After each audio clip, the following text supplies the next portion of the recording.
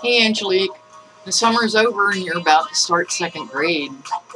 I hope it's a good year for you. There's lots to learn, and I hope you're really excited about it. Just remember that you're a firework, and let yourself shine brilliantly. Always listen to your heart. It'll never take you down a wrong road.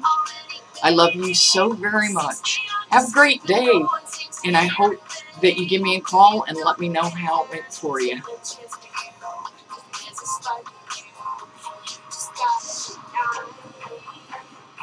You're a good girl, baby. I'm so proud of you. So I'll show you some other things around here while we're listening to the music, okay? Here's Ziza. Whoops. There's Ziza. She's having a nap.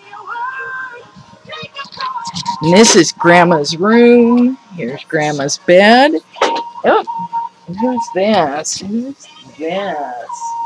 Say hi, Jack.